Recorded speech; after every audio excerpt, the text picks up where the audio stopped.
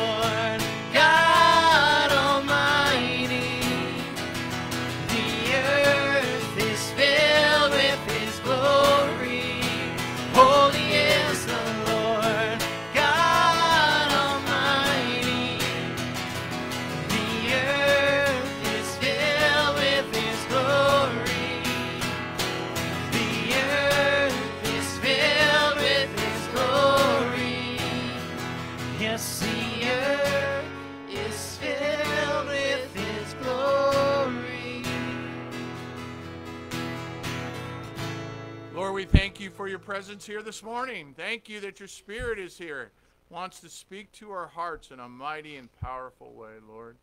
And I thank you for every person you brought out and those watching online, Lord.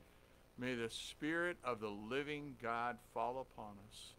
This world needs Jesus. Needs Jesus. It needs hope. And you are the God of hope. You are the God of comfort. So many people Lord, just losing their minds by everything that's going on. Lord, violence taking place all over our country, Lord. Policemen being killed for no reason. God, may you have mercy. Because we know that justice is coming. You'll reap what you sow. You'll sow what you reap, Lord. And I just pray that Lord, our hearts would be clean. Our hearts would be upright towards you, Lord, that we would just love you with all of our heart, all of our soul, all of our mind, and nothing would come in between our relationship with you, Lord. If there's any sin that we have in our lives, God, that we would confess it to you and receive your forgiveness. You could come back today. God, that we would be ready, that we'd be ready for your return, living the way that you want us to live. So bless uh, every person here today, Lord, and every person watching online, God. We ask for a anointing from you. Lord, this is no coincidence. It's a divine appointment that we are here today. God, um, teach us your word. Teach us your commandments, Lord. Thy word have I hid in my heart that I may not sin against thee. We thank you and we love you in Jesus' name. And everyone said, Amen. Just take a few minutes, give the person a bump next to you or behind you or whatever.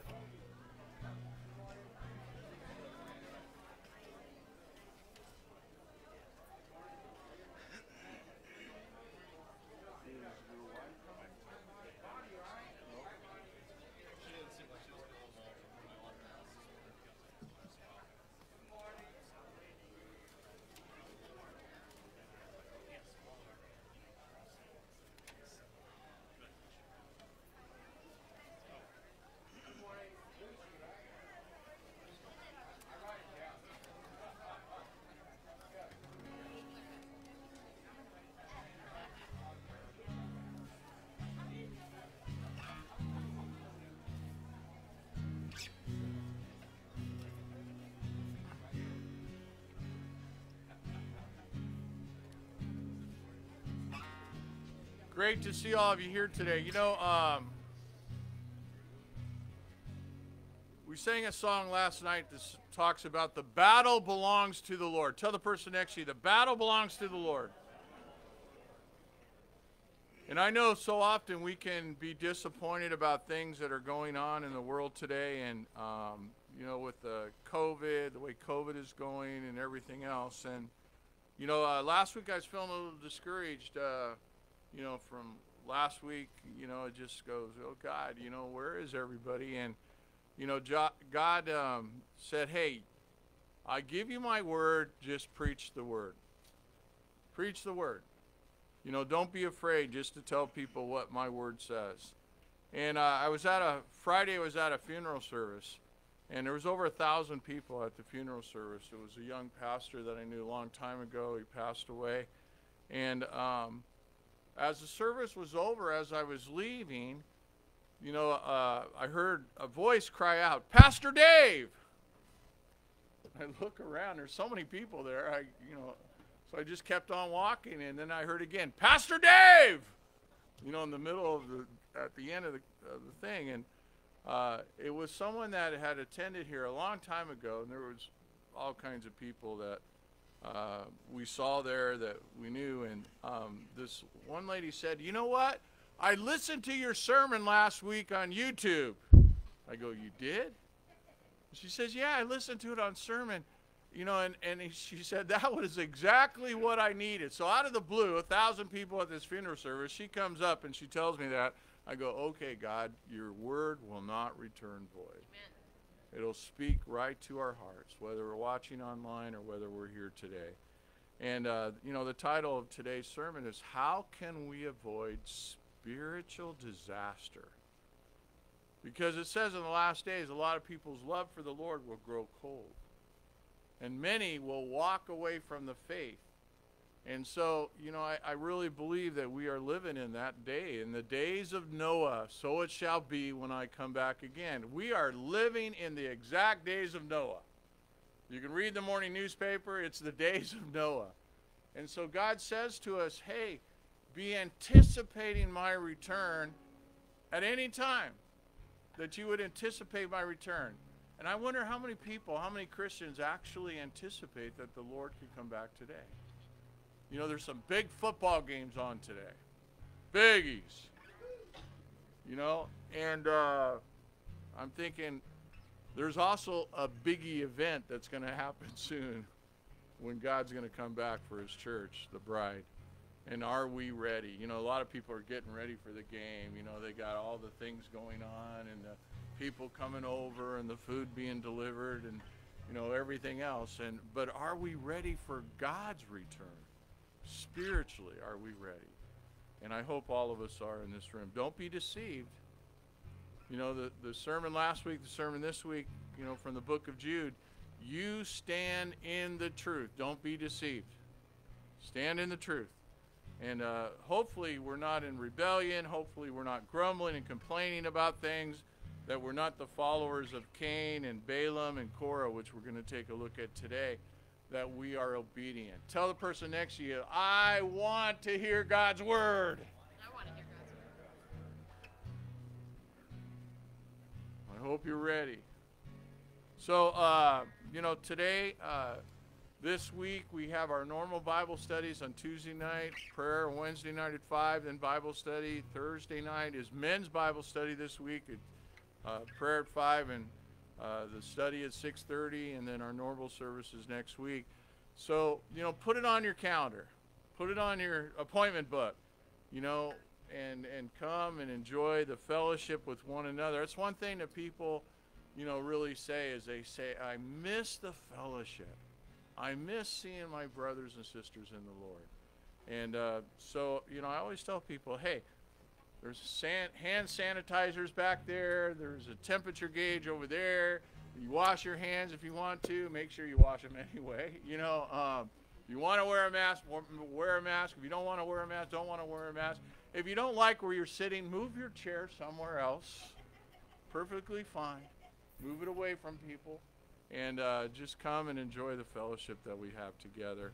Uh, they're going to, uh, ushers are coming forward to receive the tithes and offerings and uh, you know we're changing some things on the on the structure of the church. It, probably didn't even notice. I did. Did you notice? I noticed. The sign has changed. Mostly gone. It's mostly gone, and then that bottom part's going to be completely changed as well. And uh, you know we're going to do, be doing some upgrading, some painting. Um, last week, uh, a couple contractors came over and they said the upper landing on the outside where the junior hires and high schoolers walk up, it's collapsing. And so I said, well, what can we do? And they said, well, it's going to cost a little bit of money, but this is what you can do. And so um, they had to tear out large sections because they were all rotted away. That thing's been up there for 35 years. So it's safe for the high schoolers and junior hires to walk up there today. We got the first coat of the cement on there and uh, changed all the wood around, and the second coat's going to be coming this week. But um, hey, you never know. you know, you think you're doing good at times, and then all of a sudden something comes, like a car breaks down or something else. That's what's happening around here too. But God knows what He's doing. If He is for us, what? Who can be against us? Let's pray.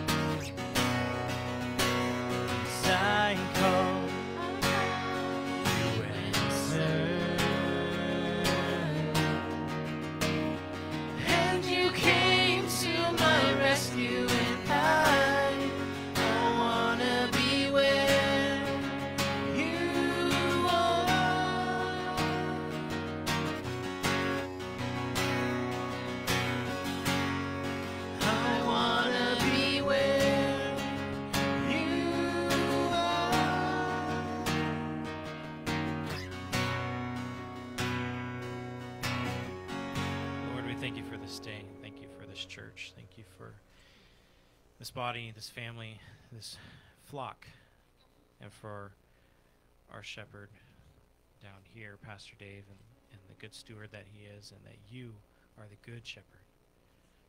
And we just thank you for this time together, and this building is still standing, and our doors are still open, and just bless everybody here and help us to bless you and, and be faithful to you in Jesus' name.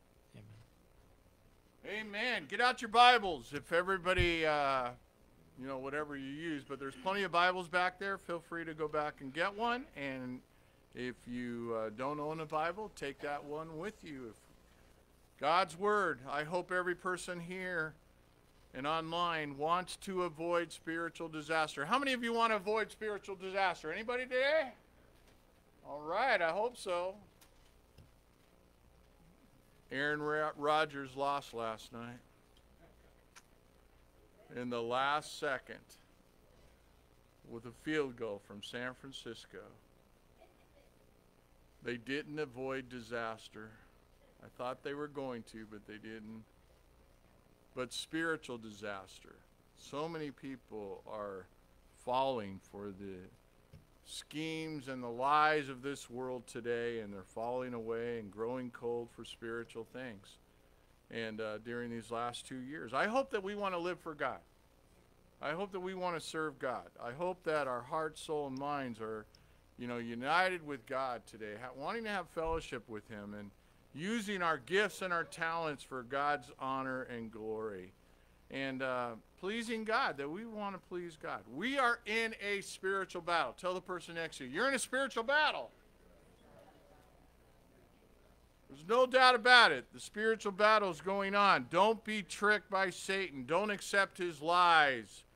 You know, um, it's a he is polluting this wor- world with his darkness, polluting it.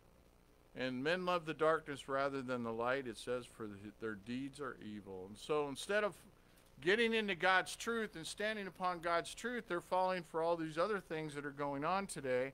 And it's pretty sad. Look at book of Jude, where we were last week, and it says in verse 3, this is a great verse to keep it in your mind and your heart. It says, Beloved, so he's talking to us. This book was like it was written for us today. Beloved, you and I, while I was making every effort to write to you about our common salvation, I felt the necessity to write to you appealing that you contend earnestly for the faith which was once and for all delivered to the saints. Contend earnestly for the faith.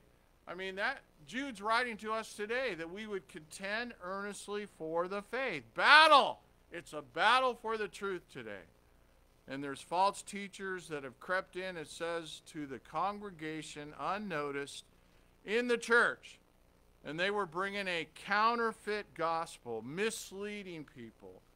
And, uh, you know, there's, there's new cult groups starting up all over the world every day. And there's people that are following those cult groups. And so God says, you and I, we need to be discerning. We need to have wisdom, sorting out the truth from error, and uh, fight for the truth. You know, so we're so timid today, so shy. What is word? We're, it's like we're uh, so calm, cool, collected. Don't want to ruffle anybody's feathers. You know, and God says, no, contend earnestly for the faith. Know the sound doctrine of my word, he tells us. In uh, 1 Timothy chapter 6, verse 12, I think it's on your outline. Fight the good fight of faith. Fight the good fight of faith. Take hold of the eternal life to which you were called. That's what it says. And then there's a great verse, uh, 2 Corinthians 4 4. Everybody turn there. Second Corinthians, Matthew, Mark, Luke, John, Acts, Romans, First and Second Corinthians, chapter four. It says, uh, "Do not lose heart." In verse one, chapter four, verse one.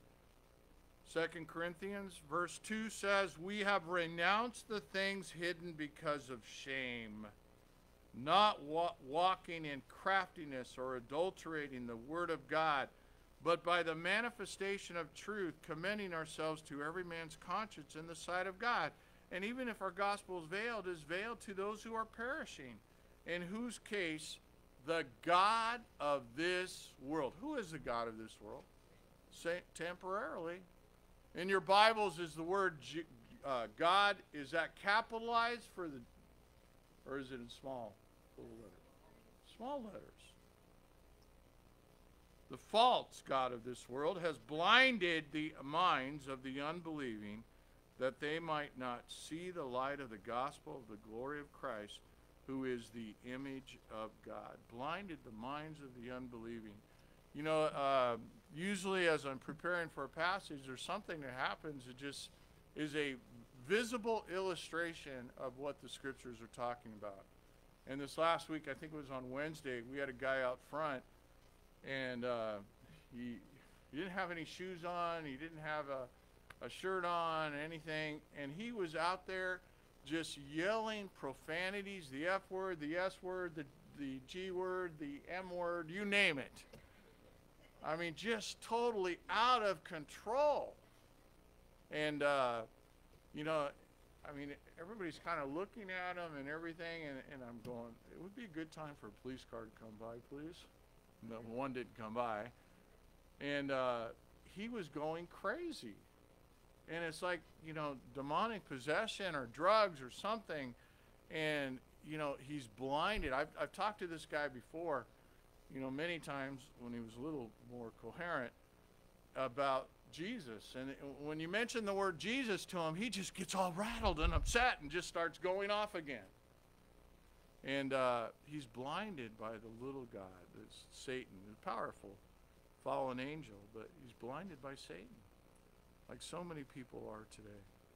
Um, so God tells us to contend earnestly for the faith, and there will be false prophets and you know people just going off into all kinds of weird things. Turn to Ephesians chapter four. Ephesians four.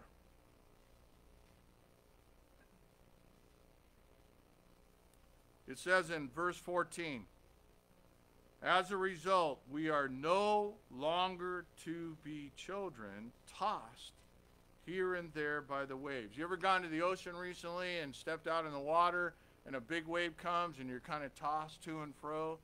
You know, he says, don't be tossed by every wave spiritually and carried about by every wind or doctrine.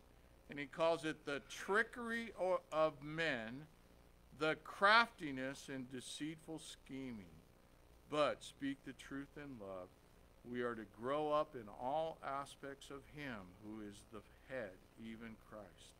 Speak the truth in love. Don't be carried around by all these waves tossed to and fro by these false doctrines and, and all this other junk that's going on today. And then turn over to the book of Colossians, chapter 3.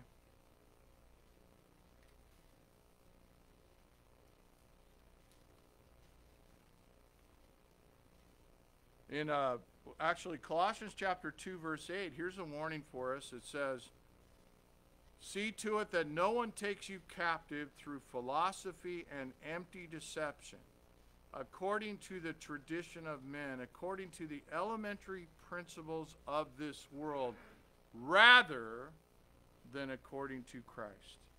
And in verse 7, he says, Having been firmly rooted and now being built up in him, established in your faith, just as you were instructed, and overflowing with gratitude. Don't be don't let the elementary principles of this world, guys, the tradition of men that are, are going against God's word, don't let it have a foothold in your life.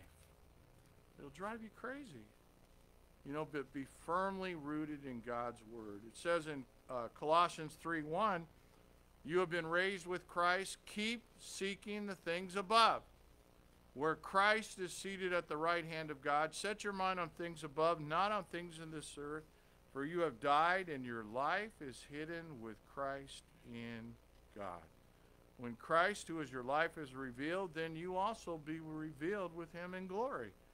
And so in verse uh, uh, 12, he says, And those who have been chosen of God, holy and beloved, put on a heart of compassion, kindness, humility, gentleness, and patience, bearing with one another, forgiving each other. Whoever has a complaint against anyone, just as the Lord forgave you, what does he want us to do? Forgive them. Forgive them. Don't hold on to it. And above all these things, verse 14 says, Put on love, which is the perfect bond of unity. And let the peace of Christ rule in your heart, verse 15, to which you were called, one body, and be thankful. And let the word of Christ richly dwell within you. Let God's word richly dwell within you. I love that. With all wisdom, teaching and admonishing one another with psalms and hymns and spiritual songs, singing with thankfulness in our hearts to God. And whatever you do in word or deed, do all in the name of the Lord Jesus, giving thanks through him to God the Father. Man, fight for the faith, contend for the faith you know, especially in our day and age. And the devil is out there. He's he calls it the trickery, the the schemes of Satan, and his schemes are out there. And so be aware of them, stand in the truth. Don't waver in your faith. Don't be tossed to and fro by every wind and doctrine that comes along. And then, you know, uh, go back now to where we left off. Go to Jude.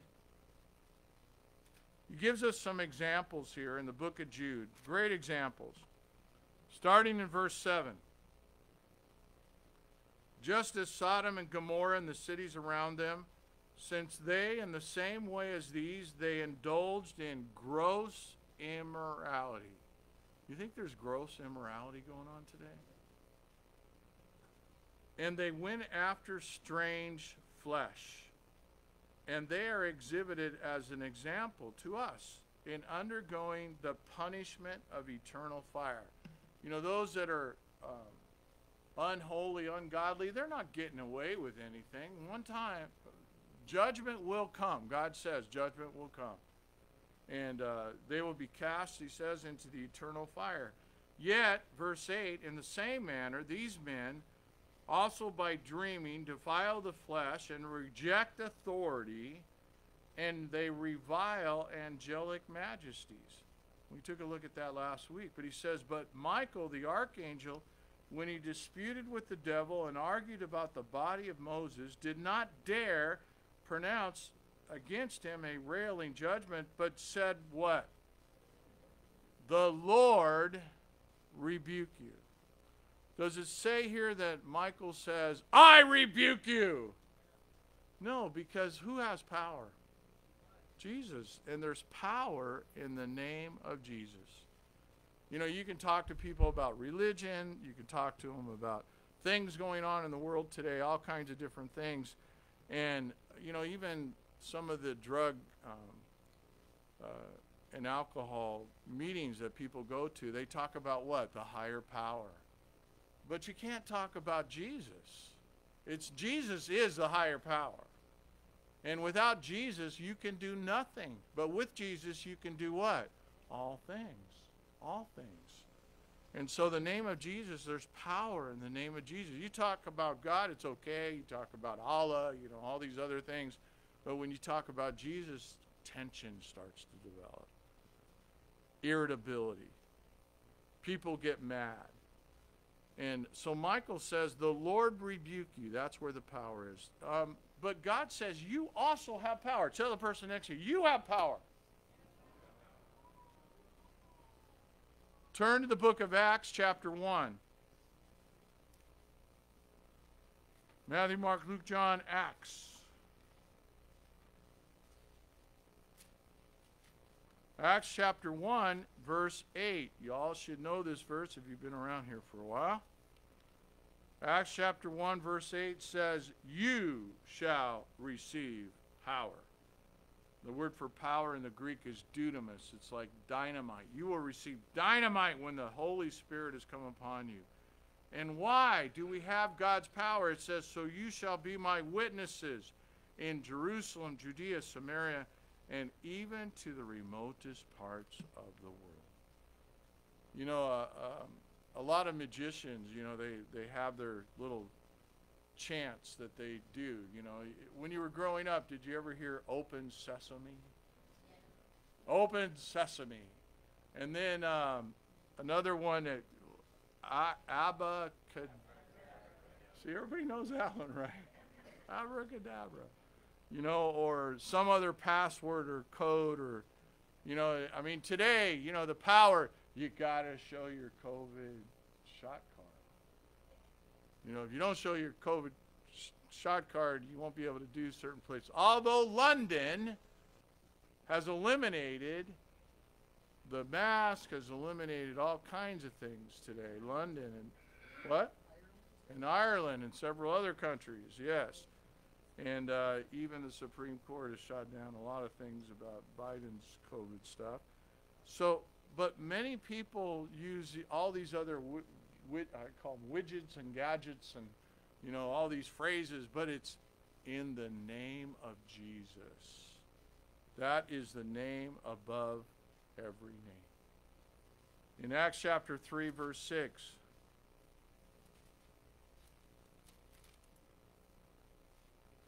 Peter said, I do not possess silver and gold, but what I do, I give to you in the name of who? Does it say, in the name of Buddha? Or in the name of Allah? No, there's one name above all names. In the name of Jesus, the Nazarene, I say walk. And seizing him by the right hand, he raised him up, and immediately his feet and his ankles were strengthened. And with a leap, he stood upright and began to walk, and he entered the temple walking and leaping and praising God. He entered the temple walking and leaping, praising God. In Acts chapter 16, it's all the way through the book of Acts and so many books of the Bible, but Acts chapter 16, verse 8.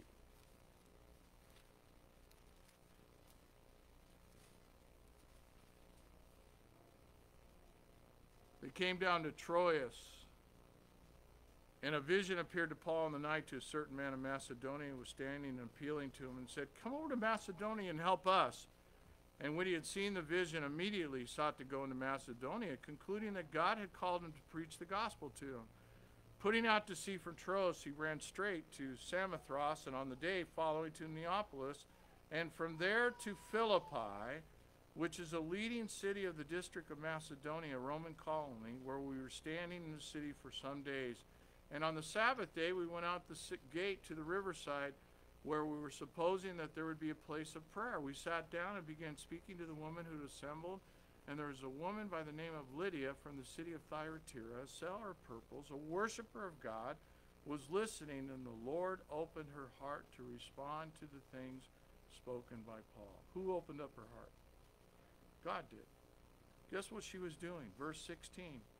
It says, And it happened that they were going to a place of prayer, and there was a slave girl having a spirit of divination, demons, demon possession, met us, and was bringing her masters much profit by fortune telling. You know, God says rebellion in the scriptures is as the sin of witchcraft. You know, rebellion, fortune telling. And following after Paul, she kept crying out, saying, These men are bondservants of the Most High God, and they're proclaiming to you, that actually in the little Greek, one way of salvation, false doctrine. And she continued doing this for many days. But Paul was greatly annoyed and turned and said to the Spirit, I command you in the name of Paul. No, what? I command you in the name of Jesus Christ to come out of her. And it says it came out of her, out of her at that very moment. You know, a lot of people in the scriptures have attempted to perform miracles. They, they said, hey, let me buy this, this power that you have, the power to do miracles. And, uh, you know, all kinds of other things. But they failed because they didn't know Jesus and they didn't have the power of Jesus in their lives.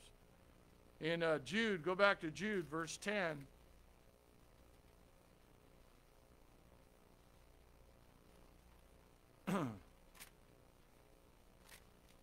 Jude, verse 10 says, But these men, or uh, Michael, in verse 9, the archangel, Michael was a very powerful angel, one of the most powerful angels of God, on the same line as basically Satan was. He disputed with the devil and argued about the body of Moses and did not dare pronounce him against him a railing judgment, but said, The Lord rebuke you.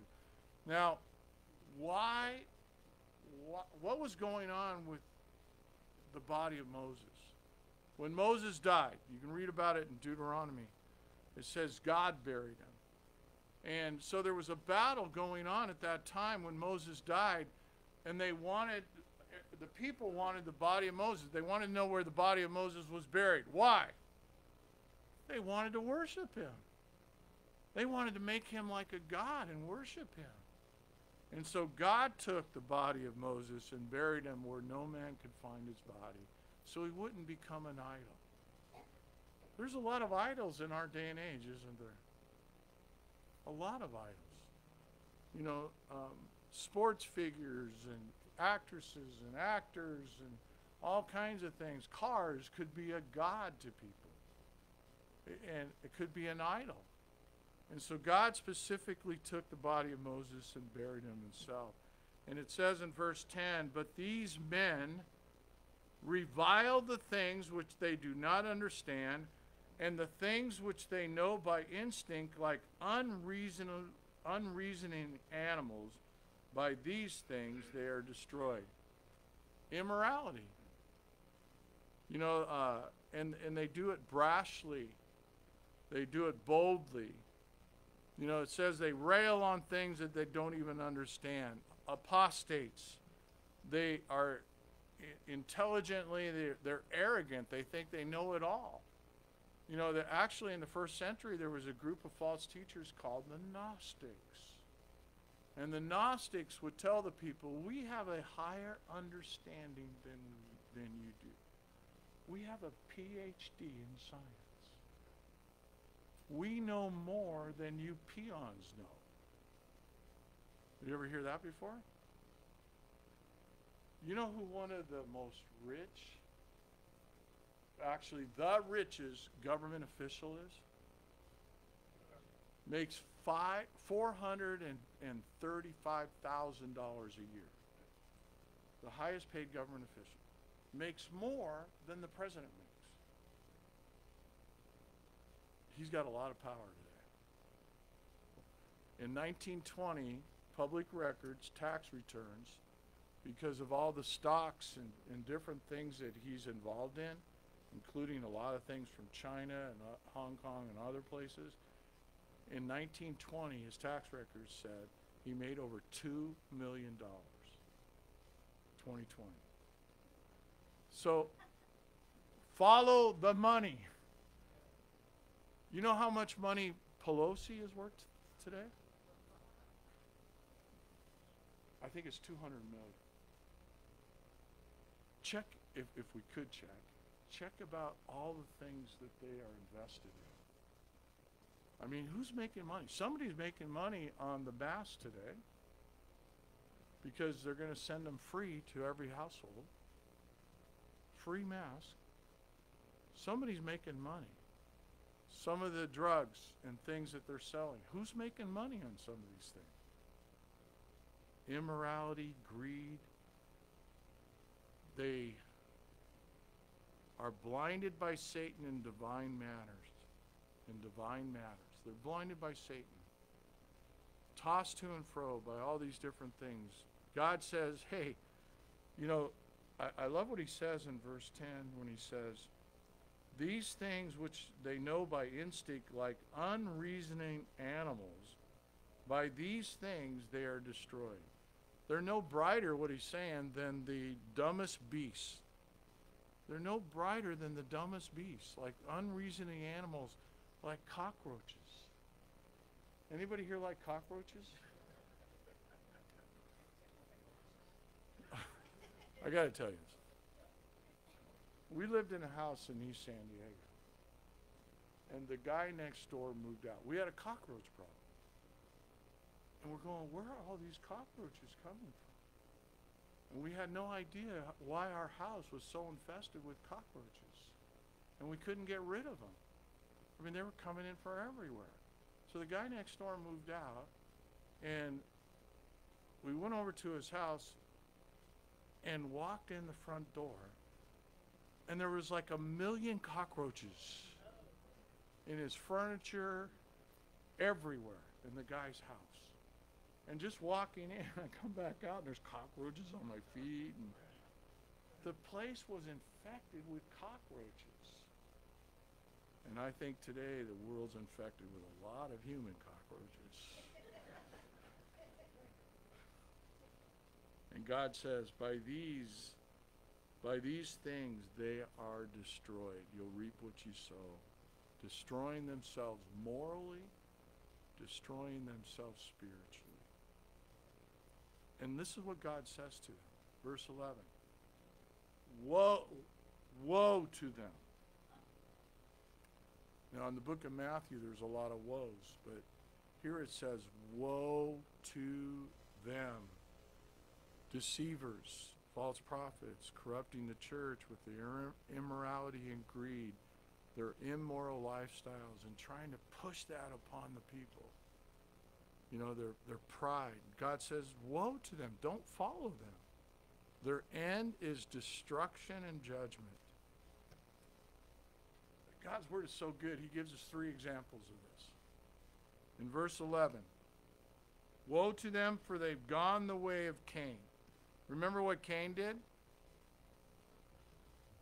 He openly rebelled against God's revealed will regarding the sacrifices, and he ended up killing his own brother because of jealousy, pride.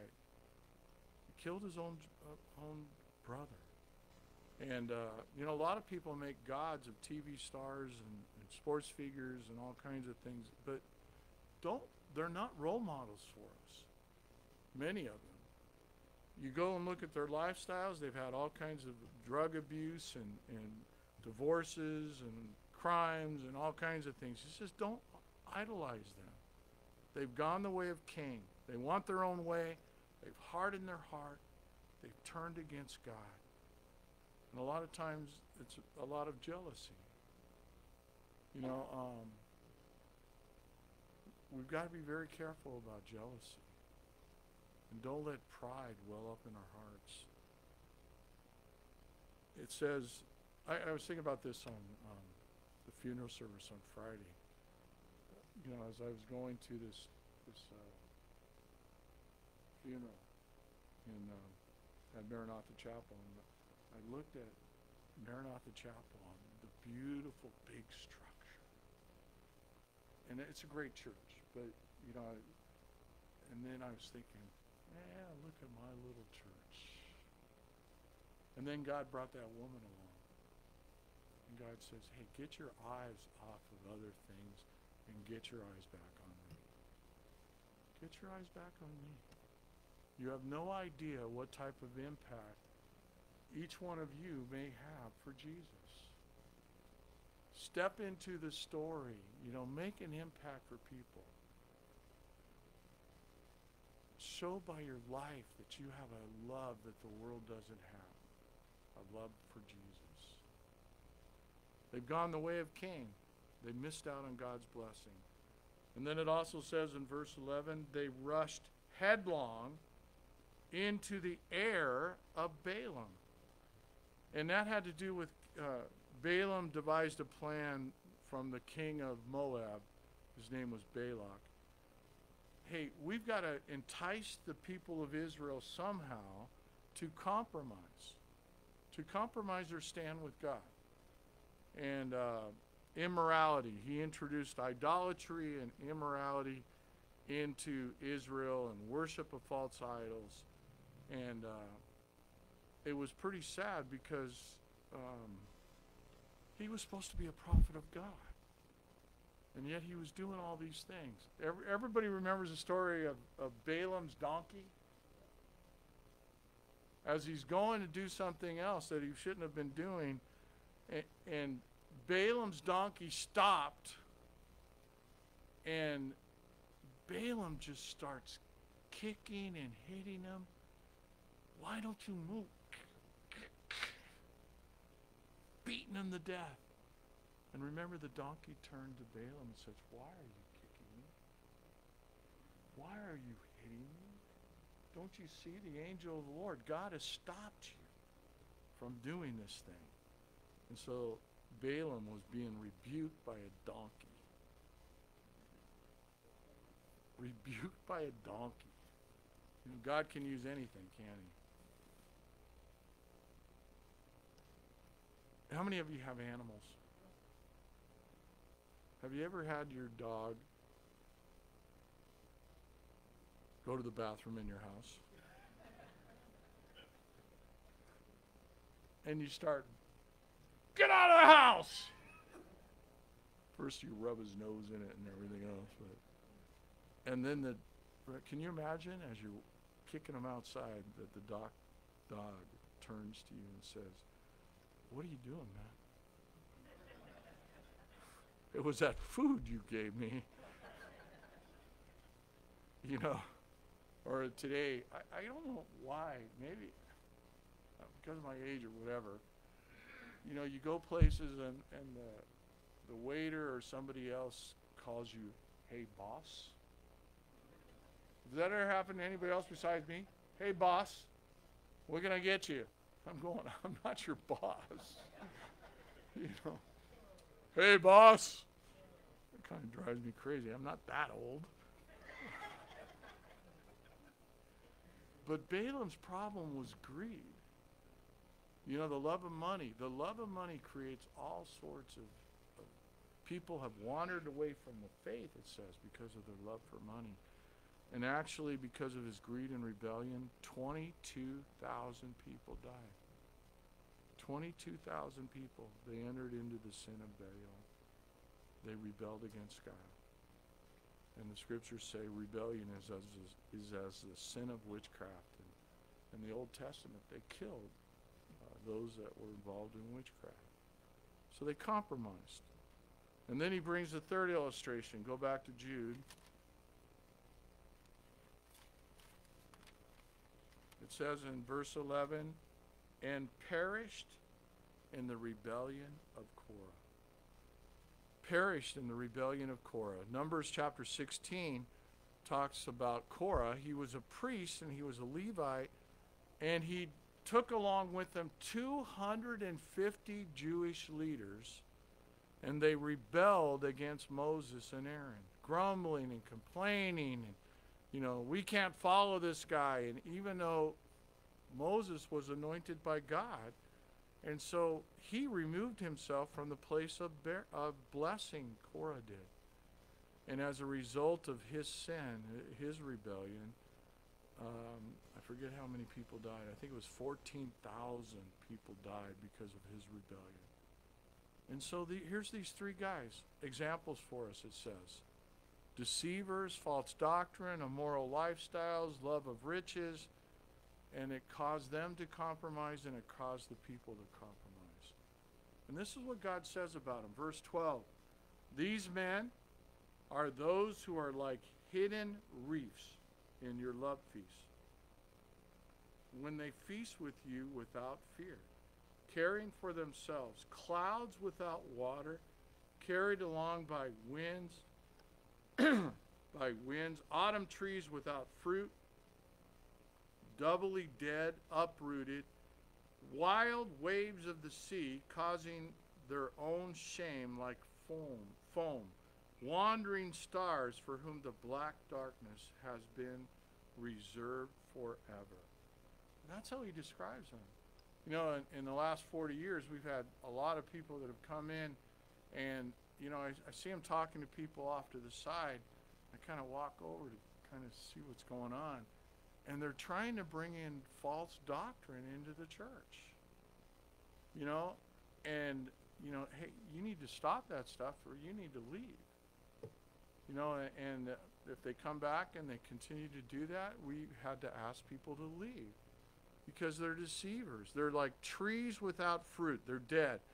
Wild waves of the sea, wandering stars, clouds without water, hidden reefs, committing shameless deeds, it says, moral corruption, going from place to place, church to church, spreading their false doctrine like the virus.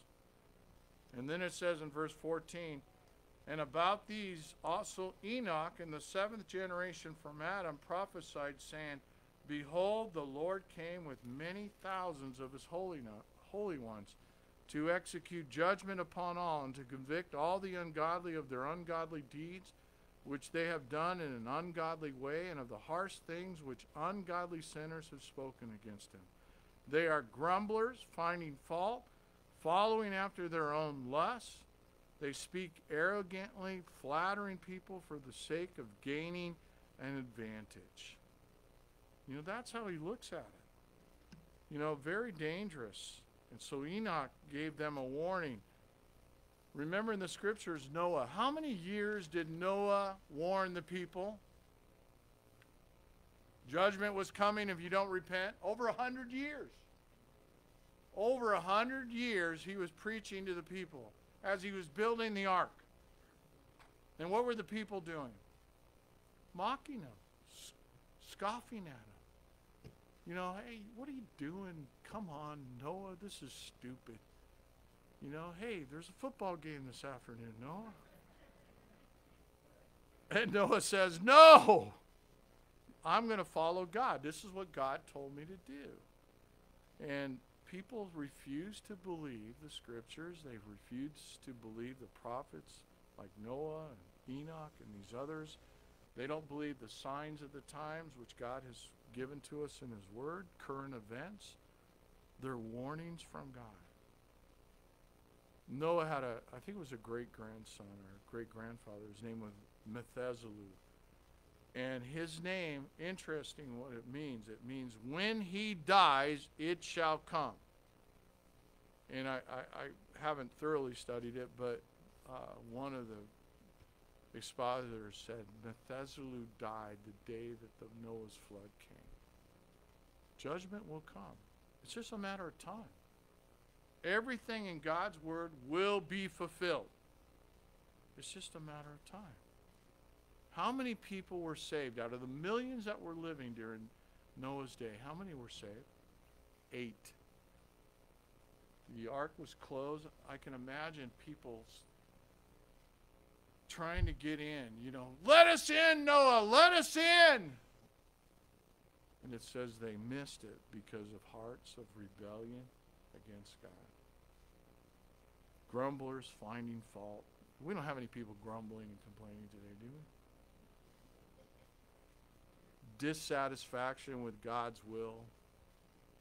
Self gratification, following their own arrogant ways, flattering people for the sake of a gain, telling the people what they want to hear, even if they're lying. This is what God says. We'll just close with the first part of Jude, verse 17. He says, But you, beloved. So he gave us all these examples, and he says, But you, beloved. He says, You ought to remember the words that were spoken beforehand by the apostles of our Lord Jesus Christ. And they were saying to you, In the last days, there will be mockers following after their own ungodly lust. These are the ones who cause divisions, worldly minded, devoid of the Spirit. Close your, or don't close your Bibles yet. Turn to the book of uh, Peter. Second Peter chapter 2.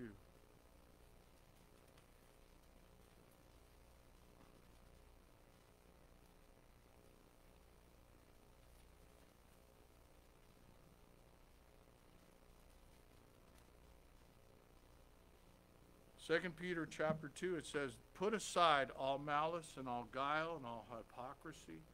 That's First Peter. that was good though too. Second Peter chapter 2, but false prophets, verse 1, will arise among the people, just as there will be false teachers among you who will secretly introduce destructive heresies even denying the master who bought them, bringing self destruction upon themselves. Many will follow after their sensuality, and because of them, the way of the truth will be maligned. In their greed, they will exploit you with their false words. Their judgment from long ago is not idle, their destruction is not asleep. For if God did not spare the angels when they sinned, but cast them into hell, and committed them to pits of darkness reserved for for judgment, and did not spare the ancient world, but preserved Noah, a preacher of righteousness, even with seven others, when he brought the flood upon the world of the ungodly. And if he condemned cities of Sodom and Gomorrah to the destruction by reducing them to ashes, and they made example to those who would live ungodly thereafter, and if he rescued Lot, oppressed by sensual conduct of undisciplined men, by which you saw and heard that righteous man, while living among them, felt his righteous soul tormented day and night with their lawless deeds. Then the Lord knows, verse 9, how to rescue the godly from temptation and keep the unrighteous under punishment until the day of judgment, and especially those who indulge in the flesh in its corrupt desires and they despise authority, daring self-willed. They do not tremble when they revile angelic majesties. And, and he just goes on there. It's just amazing what he says. I mean, that's this world today. There's no difference. But God says, but you, we're to live for Jesus. We're not to compromise our faith. And uh, you read the morning newspaper, it's just like it was in the days of Noah, so corrupt. And let you stand as messengers of the truth. And so God says we're to stand firm. Look at the bottom of your outline there. Live for Jesus. You're to be different. Tell the person next to you, you're to be different. Don't water down God's word. Don't be dece- deceived. Don't you stand for the truth. Don't be rebellious. Don't be grumblers. Don't be complainers. Don't be followers of the, of the characteristics of Cain and Balaam and Korah, but be obedient to God. Be disciples of God. You know, uh, I'm here on Wednesday nights and I listen to Dan. It's such a great he does a great job teaching God's word, and he says, "Stop sipping the Kool-Aid." I love that phrase. I never heard it before. Stop sipping the Kool-Aid. The world is giving you Kool-Aid filled with a lot of garbage. Stop just accepting it as truth. Stand for what God says in His Word. He's the same yesterday, today, and forever. And His Word, don't take away from it, don't add to it. God's Word will last forever. And uh, this is why we it's so important that we get into God's Word on a daily basis. Get into God's Word. And uh, you can close your Bibles. I'll just read this other passage to you. God bless you and keep you. May his face shine upon you and give you peace. Here it is. It's from 2 Timothy chapter 3. It says, In the last days, difficult times will come. Difficult times are here. Men will be lovers of self, lovers of money, boastful, arrogant, revilers, disobedient to parents. They'll have this attitude of ungratefulness, unholiness, unloving, irreconcilable, malicious. They'll be involved with gossiping, without self control. They'll be brutal, brutal, haters of God, haters of good. Remember Isaiah? They will call good evil and evil good. That's uh, Isaiah chapter 5, verse 20. They'll be treacherous. They'll be reckless. They'll be conceited. They'll be lovers of pleasure rather than lovers of God. Pretty good description. And then he says, Indeed, all those who live godly in Christ Jesus will be persecuted. Evil men and impostors will proceed from bad to worse, deceiving and being deceived. For the time will come, this is 2 Timothy chapter 4. The time will come when they will not endure sound doctrine, but wanting to have their ears tickled, they will accumulate for themselves teachers in accordance to their own desires. I mean, there, there was a a phone message that you could call, and it, it was a mess. It would have meditation on it. Meditation. This is what you know, and the, the meditation on it was insane. One of one of the meditations, and my roommates thought they were being really funny. Say, you got to call this number right away. It's important. And I had no idea what the number was. I called the number, and it was like the the person came on and they were going, mm, meditate on your belly button. Well, meditate on your belly button. And then it just went on with like five minutes with this garbage. Last days, they will turn away their ears from the truth and they'll turn aside to lies. But you, be sober in all things. Do the work of evangelist. Fulfill your ministry. Fight the good fight. Fight the good fight of faith. And Paul says, I've finished the course. I've kept the faith. Fight the good fight of faith. Lord, I just pray for all of us here in this room. God, there's so much going on in our world today. So much garbage. So much lying. So much false teaching that's taking place. God, that we would stand firm, that we'd be above reproach, that we'd be preachers of righteousness, that our lives would be according to the sound doctrine of your word. Wake us up. Wake us up that we would contend earnestly for the faith. We'd fight for the faith in our day and age. Lord, we can't be silenced. You are the way, you are the truth, you are the life. And nobody comes unto the Father except through you. That's the truth of your word. Everything else is lies, myth, garbage. It's the truth of your word that stands forever. God, just fill our hearts. I thank you for every person here today. I thank you for every person watching online, Lord. I pray, God, that we would not be deceived. Don't be deceived. The lies, the schemes of Satan, the tricks of Satan, God, and fear that we would not be. You are not a God of fear, it says, but of might, power, and a sound mind. God, so many people are afraid. Fear has gripped their souls. They're afraid of everything. Oh, I can't touch this pen. It may have virus on it. I, I, my shoes, I, I, can't, I can't, can't put on my shoes because it's been walking on the ground. There's viruses.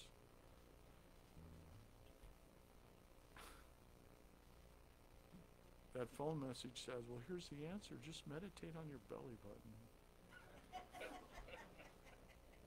That's secure. God, may we get into your word. Your word has an answer for everything. Your word is the same yesterday, today, and forever. It doesn't change. It brings life.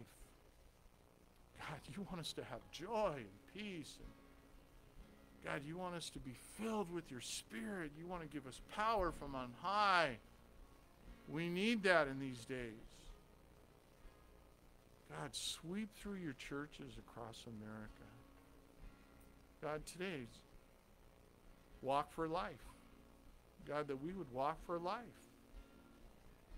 God, the millions of people would walk for, for life. That Supreme Court, Lord, uh, would make the right decisions according to your word coming up here. God, I thank you for the small church body. Just got a letter from Planned, not Planned Parenthood for sure, but Pregnancy Care Center. And they said our just our total for this last year was over two thousand dollars in the small church that we gave to help the unborn. We save babies. Even in the womb.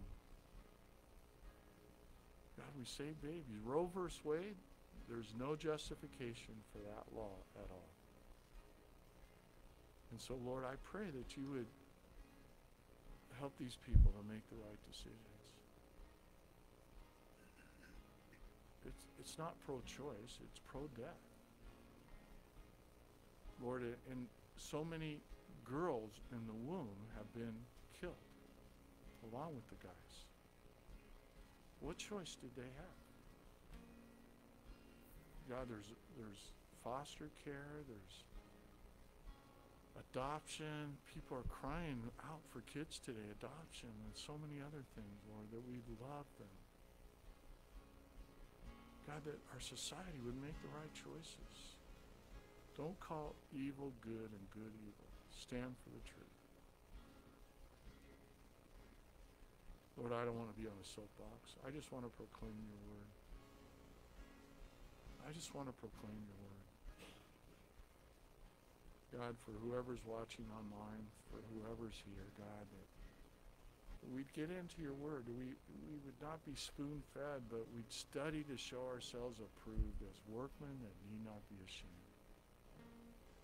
God, that we would work out our sa- salvation, it says, with fear and trembling. For it is God who is at work within us both to will and to work for his good pleasure.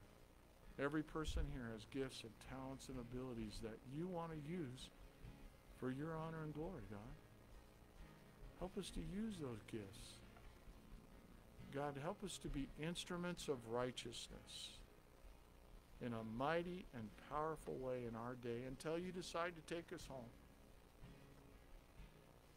Pastor Ray was so young when you decided to take him home. He had been ministering for so many years.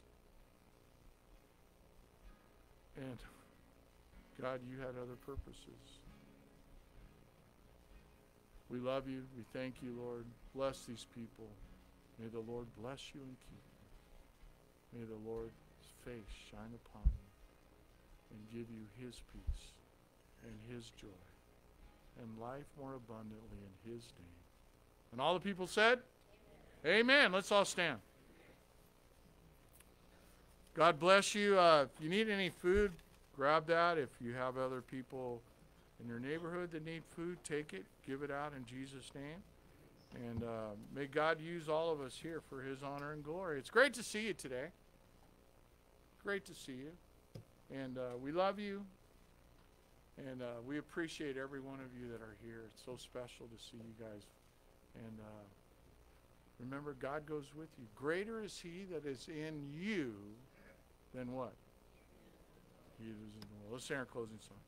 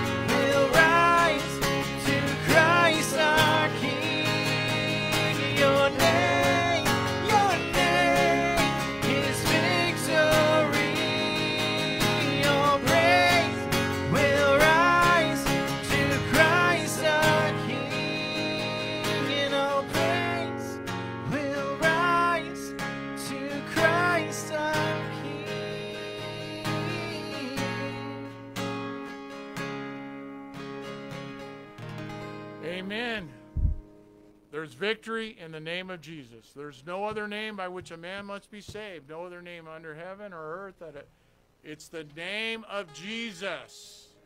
There's power in the name of Jesus. Amen. God bless you. Have a great day.